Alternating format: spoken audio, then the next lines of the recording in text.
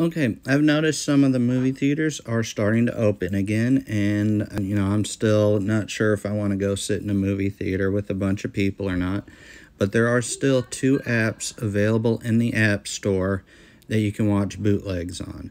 And Showbox Loca is one.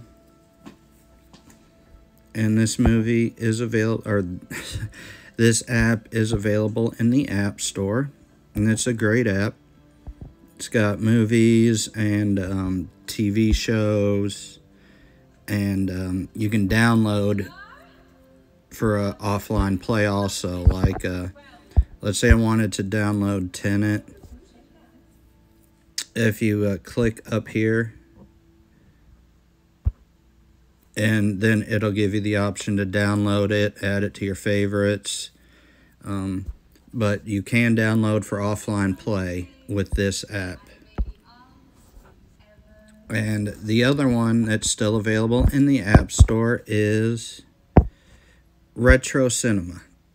And I know it says Retro Cinema, but this one actually does have current movies. And it will start you off with offline movies because with this app, you can also download for offline play. And um, like down here's the movies and TV and everything. And this one is a good one,